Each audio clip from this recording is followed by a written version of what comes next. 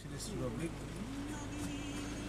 We have inclination towards uh, In der indischen Hafenstadt Chennai erwarten uns einige junge Männer. Ihre Gesichter dürfen wir nicht zeigen. Wir filmen heimlich. Mitarbeiter einer lokalen Menschenrechtsorganisation haben für uns ein Treffen mit Arbeitern arrangiert. Sechs Tage in der Woche montieren sie Mobiltelefone in den Fabriken von Nokia und Motorola. Wir wollen von ihnen erfahren, unter welchen Arbeitsbedingungen sie hier in Indien Handys herstellen. Handys, die unter anderem in Deutschland zu Schnäppchenpreisen angeboten werden. Die Arbeiter haben Angst. Sie wollen anonym bleiben. Einer spricht schließlich doch mit uns. Ich verdiene bei Nokia 60 Euro im Monat. Zurzeit gehen die Lebensmittelpreise fast täglich hoch. Wir sparen, wo es geht, um über die Runden zu kommen, aber unser Lohn reicht einfach nicht aus.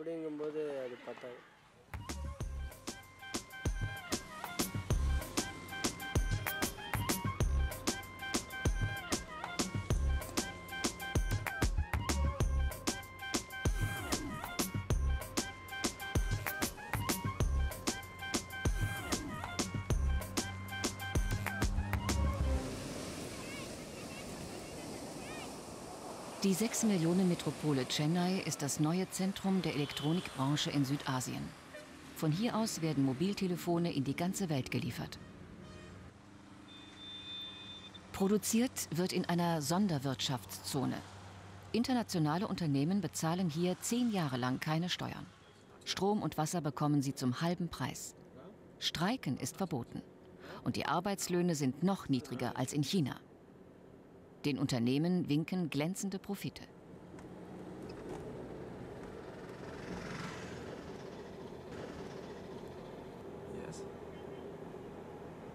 Überall in der Stadt Firmenbusse mit Arbeiterinnen und Arbeitern. 7500 junge Frauen und Männer arbeiten alleine bei Nokia. Sie verdienen durchschnittlich 2 Euro am Tag. Das reicht gerade, um für eine Person das tägliche Essen zu kaufen.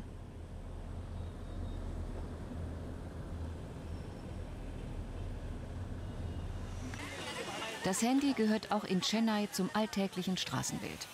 Indien ist eine aufstrebende Wirtschaftsmacht. Trotzdem leben rund 440 Millionen Inder in absoluter Armut. Sie haben weniger als einen Euro pro Tag zum Leben. Die Arbeiter bei Nokia und Motorola liegen mit ihren Löhnen zwar darüber, aber auch sie verdienen nicht mehr als die Obstverkäufer auf der Straße. Hungerlöhne und keine Gewerkschaften. Wie erklären das die Handyhersteller? Von Motorola erhalten wir erst gar keine Antwort auf unsere Nachfragen. Immerhin Nokia antwortet uns. Die Arbeiter der Fabrik in Chennai werden gut bezahlt, weit über dem Mindestlohn. Ob die Arbeiter eine Gewerkschaft gründen wollen, müssen sie selbst entscheiden. In der Fabrik in Chennai haben die Arbeiter das bisher noch nicht getan. Prithvi Raj, der Leiter der Menschenrechtsorganisation Care Trust in Chennai, berichtet über ganz andere Erfahrungen.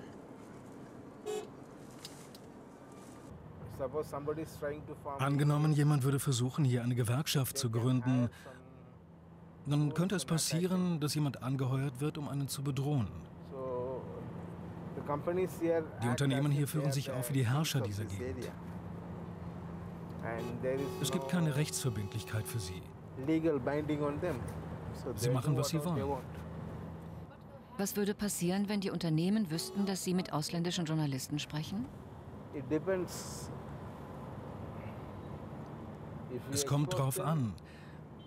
Wenn wir ihre Praktiken offenlegen, dann werden sie versuchen, uns unter Druck zu setzen.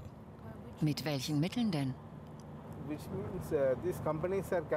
Diese Unternehmen sind zu allem fähig.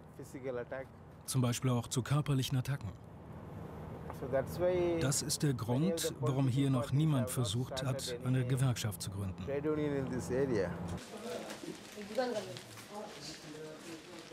Zusammen mit Prithvi Raj sind wir am nächsten Abend bei den Arbeitern zu Hause eingeladen. Es ist drückend heiß.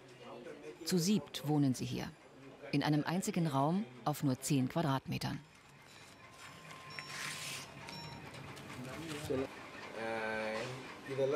Die jungen Männer haben keinen Vertrag bei Nokia und Motorola. Sie sind Leiharbeiter. Zu ihrem Schutz haben wir versprochen, ihre Gesichter unkenntlich zu machen.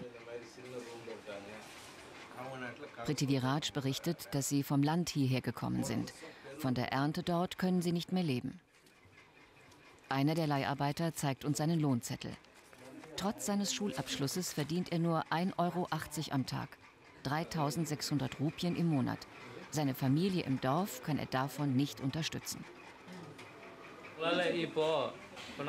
Die meisten von uns haben bei Nokia angefangen, weil sie dachten, dass es eine gute Firma ist und sie dadurch eine bessere Zukunft haben. Aber jetzt merken wir, dass es eine Sackgasse ist. Unsere Schulbildung nutzt uns nichts. Das Wichtigste wäre, mehr Lohn zu bekommen. Wir drucken Handyplatinen. Dabei atmen wir giftige Dämpfe ein. Das kann Krebs auslösen. Haben Sie Kollegen, die Krebs bekommen haben? Krebs? Ja, es gibt Leute, die krank wurden und zum Arzt gegangen sind. Er hat sich nach ihrer Arbeit erkundigt und als er erfuhr, dass sie in der Abteilung für elektronische Fertigung arbeiten, hat er festgestellt, dass die Leute vom Einatmen der giftigen Dämpfe Krebs bekommen können. Haben Sie Angst, Krebs zu bekommen? Wir haben keine Wahl. Wir müssen diesen Job machen, um zu überleben. Giftige Dämpfe, Dumpinglöhne und bei Krankheit Lohnabzug oder Rausschmiss. Dies berichten die Arbeiter. So langsam verstehen wir, warum wir keine Dreherlaubnis bei den Handyproduzenten bekommen haben. Der einzige Luxus, den sich die jungen Männer leisten, ist eine Musikanlage.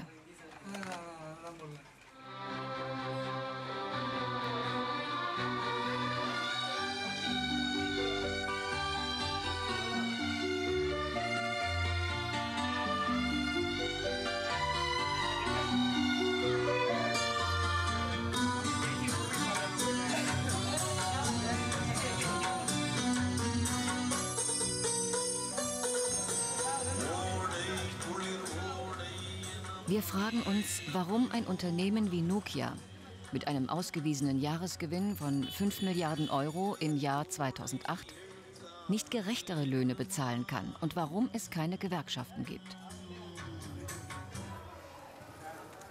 Prithviraj möchte noch einmal in Ruhe mit uns reden. Im Tempel von Kanchipuram finden wir eine ruhige Ecke ohne neugierige Zuhörer.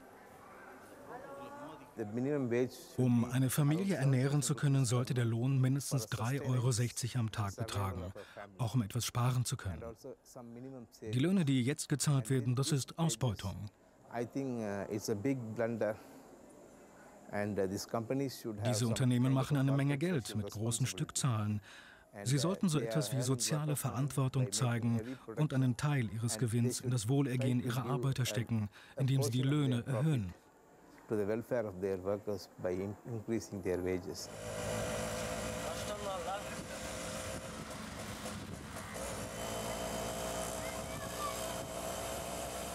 Am nächsten Tag haben wir einen Termin mit einem Gewerkschafter, ganz am anderen Ende der Stadt.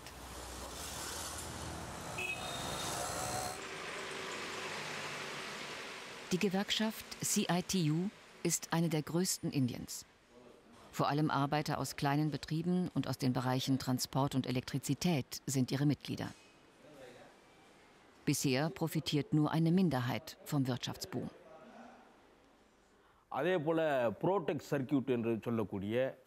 Sie bezahlen die niedrigsten Löhne, ob Hyundai, Ford oder Nokia.